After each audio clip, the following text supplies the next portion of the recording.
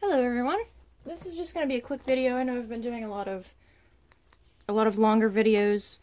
One of my um, curly hairs molted uh, actually just yesterday, so I'm going to rehouse him because he's um, getting pretty big for this enclosure.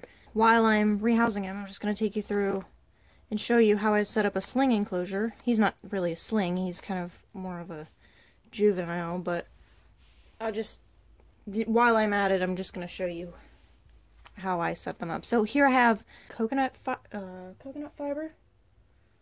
Um, you can get it at like PetSmart or something like that. You know, big bag of it. It's the the cocoa husk stuff. I don't know. They call it a bunch of different names, but so I just have a bunch of that in here, and this is a this is a clear deli container. I don't know what size, but I mean whatever.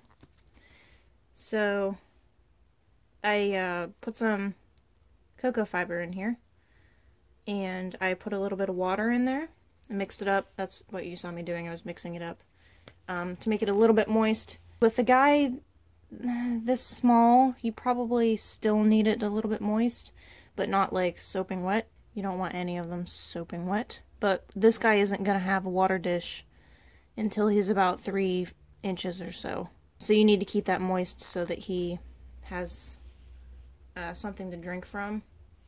Which uh, I'll show you here. I'm actually going to mist the sides too because they drink from the sides of the container. So if you just take like a, a regular water sprayer and just kind of give it a little spray. One second. Also, another thing you want to make sure that you do is poke holes in the side. I actually just had to do that because I forgot that there was only a couple tiny holes. But you need to poke holes in the side here so that there's ventilation. Um, and for slings, I, I don't like to poke holes in the top, uh, the, the lid, just because you want to keep humidity in because they're so tiny and fragile and they dry out a lot quicker than adults. So you want to make sure that you have some kind of humidity in there and the uh, water that you spray in there is going to last a lot longer than say if you had like dry substrate and ventilation on top. This is this is the basic setup for a juvenile slash sling. You know, the slings you're just going to keep in these little pill jars until they're big enough, like this guy, that he needs something just a tiny bit bigger. Um, what I'm also going to do, since there's room, I'm actually going to take a toilet paper roll or a paper towel roll or something like that, and I'm going to cut it in half and cut off a little section where I can uh, put it in here and uh, make a little hide for him because here he has a burrow. This enclosure is not really going to allow him to burrow just because it's so shallow there's not enough room for them. So give me one second and I'm going to cut this up and then we're going to put that in there. Okay, so I have um, some wet wet sphagnum moss. Now this stuff holds moisture really well. So you just want to give it a couple spritz um, and make sure it's it's wet, but you can't squeeze water out of it. So we're just going to kind of set this off to one side here.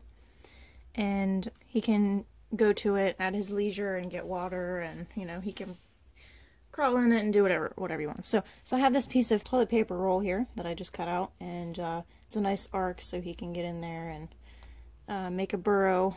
So just kind of shove it in there, put it in in one side of the container, and kind of hollow it out. Push down inside and hollow it out, make it a little bit more burrow-like for him. I mean, he's gonna do what he wants with it, but just kind of make make it so that he knows that that's a burrow. So, this is a perfect little setup. Now, when you're extracting a tarantula, a sling, or a juvenile, or whatever, from one of these pill jars, and they're crammed into the bottom like this, he's hiding down here. Uh, when they're crammed into the bottom like this, you kind of have no choice but to scoop out this this um, extra substrate on the top and just kind of fish them out. Yeah, so just kind of scoop this out. Make sure you don't crush your tarantula, especially if they just molted. Do not crush him.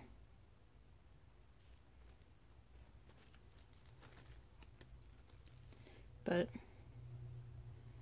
this guy is a master of escaping down his tunnel.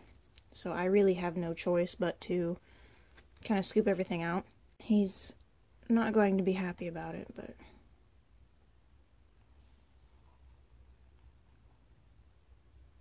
at some point he'll he'll enjoy his new setup at some point.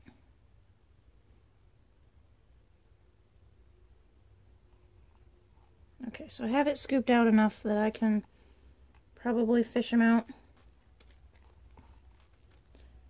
Um, you can see him down there, over here. Maybe you can't, I don't know. Yeah, he's right there. So, what you're going to do is take your paintbrush and you're going to kind of nudge him until he comes out. And then hopefully, you know, your end result will be that he goes in there. Okay. So let's just kind of... Come on, little buddy. There you go. There, see? Now he's starting to come out. And... Yeah, he's really kicking hers. Come on, little buddy. Come on. There you go.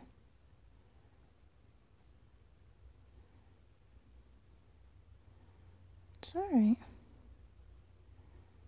Go ahead. Yeah, he's just freshly molted. I pulled the molt out yesterday.